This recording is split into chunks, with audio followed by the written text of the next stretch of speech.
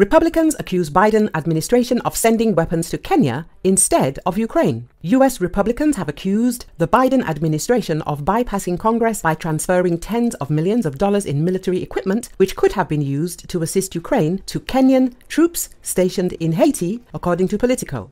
House Foreign Affairs Committee Chair Michael McCaulk and Senate Foreign Relations Committee Ranking Member Jim Ricketts criticized the administration in a letter to Secretary of State Antony Blinken for accelerating the funding of 60 million US dollars in military aid to combat violent gangs wreaking havoc in Haiti through the use of Presidential Drawdown Authority.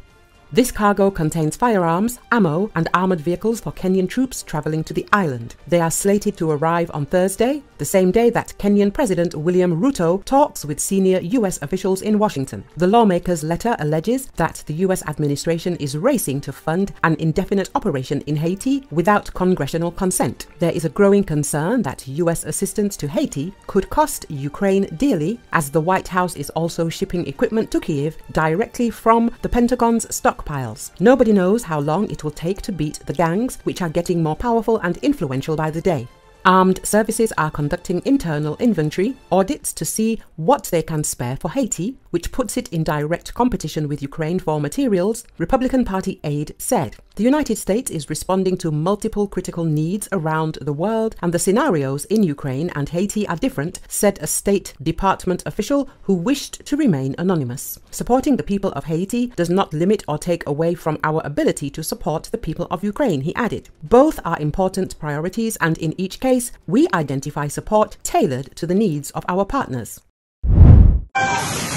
A hailstorm hit Poland's western city of Gniezno on Monday, causing flooding in the city and covering it in snow. Thunderstorms and hail continue in the city, prompting authorities to issue warnings for local residents. The Polish Institute of Meteorology and Water Management issued a hail warning for several regions on Monday. There is an increased level of danger for three regions. Thunderstorms are forecast with heavy rainfall of up to 80 millimeters, the institute said. Polish Defense Minister Władysław Kosiniak-Kamysz announced that the Polish military would join in helping those affected by the hailstorm and eliminating the consequences of the disaster. Soldiers are mobilizing forces to provide assistance to the victims and eliminate the consequences after the hailstorm in Gniezno, the minister said. In Gniezno and the surrounding area, rescuers received about 200 calls related to the disaster. The vast majority of these emergency calls had to do with pumping water out of flooded basements, apartments and commercial premises.